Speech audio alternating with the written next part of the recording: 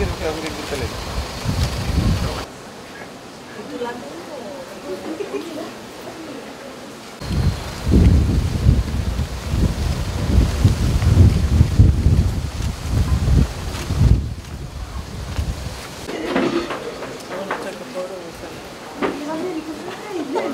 Come here, dear.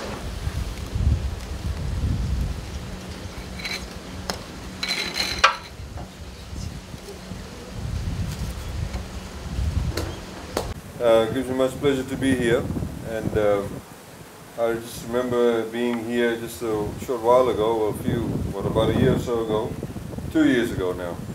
Um, with the expansion you had then, of course, today we are celebrating the expansion of your, a further expansion of your facility. The government, of course, is very keen and very um, uh, supportive of such investments and the expansion of such investments. Of course, I'd like to thank Douglas Pharmaceuticals for having the faith in Fiji uh, to uh, want to expand the uh, facility in Fiji. Uh, ladies and gentlemen, uh, as you know, government has been very much at the forefront of driving economic growth in Fiji. Economic growth means the creation of new jobs, it means an improvement in the living standards of our people, it means things like free education, free textbooks, subsidized bus fares, and of course with the scholarship system and the TELS program we've developed now for the education system. All of this actually feeds into uh, what we are seeing as opportunities that are new opportunities translating ordinary Fijians on a daily basis. Uh, There's of course a need to be able to ensure that we continue to improve our services as government. Uh, Firstly, both to our investors, uh, such as Douglas Pharmaceuticals. Uh, We've had some issues that have been highlighted to us, uh, how perhaps we can improve our services uh, to such investors, and that of course uh, we will do. Uh, Some of these things, of course, um, take place because of the fact of the lack of technology within government, or perhaps because the lack of uh, understanding of some of the regulators uh, to be able to keep up to pace with modern day practices. But nonetheless, they are not insurmountable issues.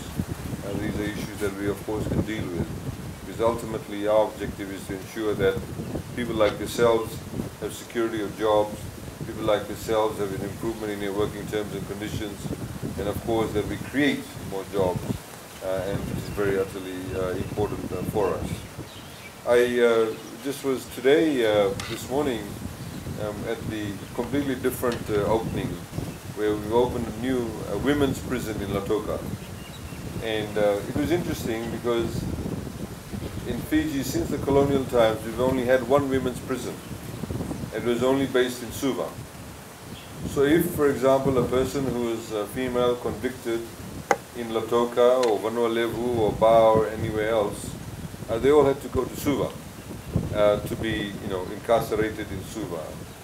So they did not have families visiting them. Some of them used to have young babies. They could not breastfeed them. Um, and these are the sort of conditions that they faced. And as you know, that those people who go to prison, they continuously need support.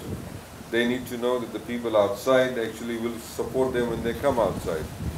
And uh, as a result of which, people tended to keep on continuously falling into that, um, what I call the vicious cycle of criminal activity.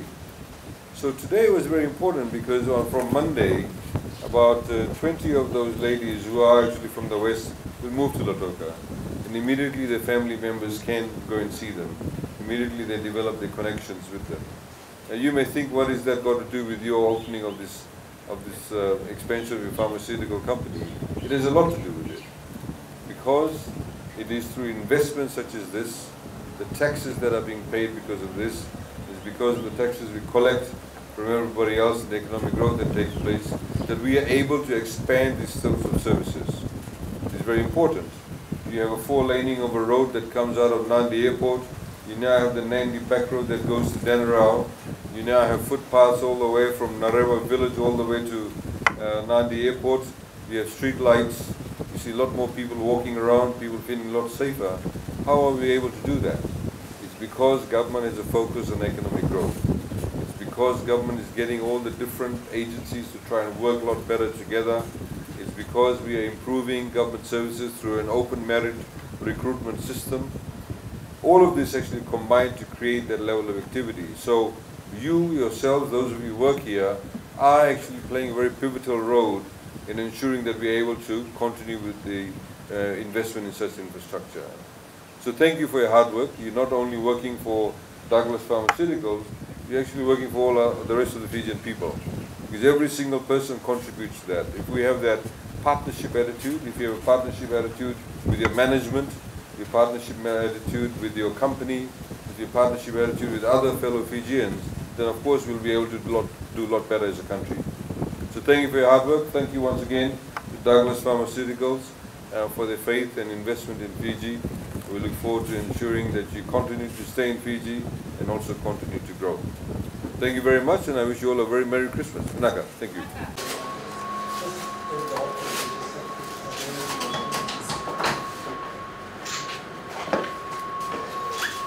There you go. There you. Thank you.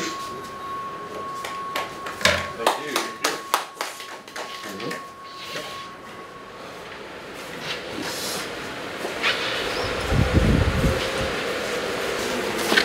This is our. Uh, this is our liquid plant where we liquid manufacturing is going to be in the manufacturing area and uh, once the liquid is been done like we explained our powder filling area up till now we have been doing powder filling by manual and now we, it's going to be automated using the machines We start production of it? Not yet. We are going to have a lift over here.